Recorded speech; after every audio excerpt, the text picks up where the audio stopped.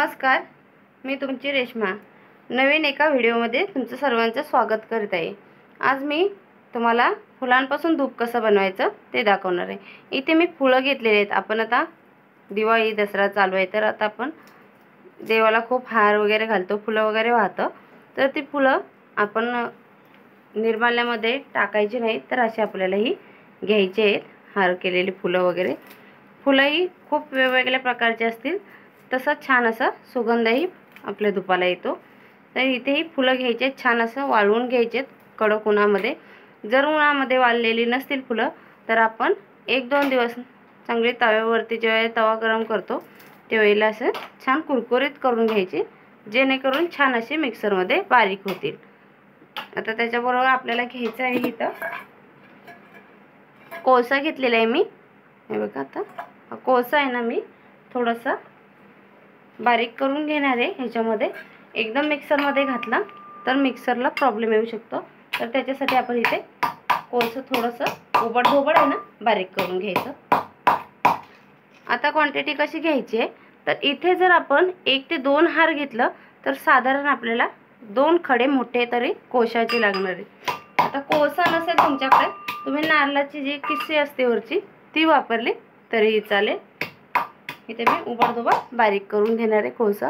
हे पहा इथे मी कोळसा बारीक करून घेतलेला आहे. आता आपल्याला एका मिक्सरच्या भांड्यामध्ये आहे ना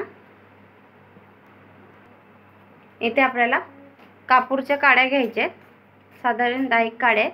इथे लवंगा घेतले आहेत मी आठ ते नऊ लवंगा आहेत. इथे घेतलेले आहे चंदनची पावडर घेतलेली आहे जे आपण आणतो घरी.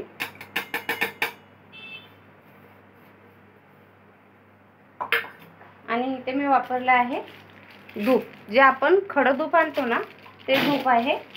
तर तुमच्याकडे तसं नसेल तर थोडंसं तुम्ही जे धूप काढे आणतो ती टाकली तरी चालेल. इथे मी थोडंसं धूप वापरलेलं आहे.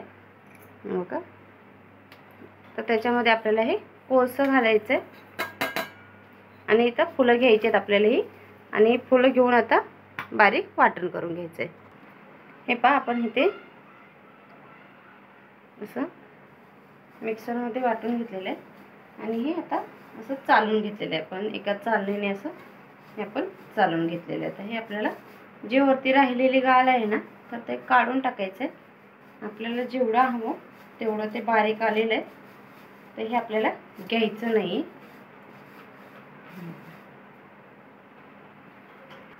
आता याच्यामध्ये आपल्याला एक अर्धा चमचा हळद घ्यायची आहे. त्याच्याबरोबर इथे घेणार आहे मी बाइंडिंग येण्यासाठी म्हणजे चांगलं छान आकार त्यांना देता आलं पाहिजे. त्याच्यासाठी आपल्याला दीड चमचा मी गव्हाचं पीठ घेतलं आहे. आता त्याच्यामध्ये आपल्याला एक चमचा भरून तूप घालायचं आहे. तूप छान आपल्याला ह्याला आता लावून घ्यायचं आहे. इथं आपल्याला हे छान असं मिक्स करून लावून घ्यायचं आहे. चोळून घ्यायचं छान असं. आता याच्यामध्ये तुम्ही निक्कम तुपामध्ये बनवणार असाल तर तुपामध्येही बनवा. खूप छान सुगंध येतो त्याचा. आता इथे मी वापरलं आहे तिळाचं तेल. इथे मी तिळाचं तेल घेणार आहे. थोडं थोडं करून आपल्याला हे मिक्स करून घ्यायचं आहे याचं. हे बघा. असं आपल्याला छान असं गोळा होईल असं तयार करून घ्यायचं आहे. आता हे पहा आपण छान असं मिक्स करून घेतलेलं आहे. आता आपल्याला ना ह्याला एकदम मिक्सरच्या भांड्यामध्ये असं छान फिरवून घ्यायचं आहे जेणेकरून छान असं गोळ आपलं धूप तयार होईल. कारण हे थोडंसं असं जाडसर असतं तर हे थोडंसं आपल्याला मिक्सरमध्ये फिरवून घ्यायचं आहे. हे पहा इथे मी मिक्सरमध्ये फिरवून घेतलेलं आहे. आता हे आपण काढून घ्यायचं आहे. छान असं ओलसर पण आलेलं आहे. कारण मी त्याच्यामध्ये तिळाचं तेल वापरलेलं आहे. तुम्ही तूप समजा दोन चमचे वापरलं आणि तिळाचं तेल नसेल तर तुम्हाला तूप नसेल जास्त वापरायचं. तर काय करायचं? ज्यावेळेला मिक्सरमध्ये फिरवतो बघायचं मिक्सरमध्ये फिरवल्यावरती जर ते छान असं तयार नसेल होत तर त्याच्यामध्ये एक ते दोन चमचे आपल्याला तुपाचा वापर सॉरी तुपाचं नाही तर त्याच्यामध्ये आपल्याला दुधाचा वापर करायचा आहे. एक ते दोन चमचे तुम्ही दुधाचा वापर करू शकता त्याच्यामध्ये. आणि हे आता मी छान असं तयार होते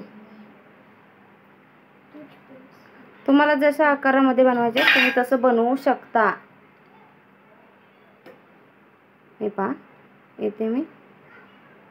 असं बनवून घेतलेलं आहे. आणि छान असं बाइंडिंग आलेलं आहे. कारण मी तिळाचं तेल वापरलेलं आहे त्याच्यामध्ये. त्यामुळे छान असं हे धुपाची वाण तयार होती. हे पहा. हे असं आपल्याला छान असं उभं कारण आपण ज्या वेळेला धूप लावून ठेवतो तर ते छान असं एका डिशमध्ये ठेवता आलं पाहिजे. त्याच्यासाठी आपण हे असं छान असं. त्याला आकार द्यायचा आहे दोन्ही हाताने आपल्या.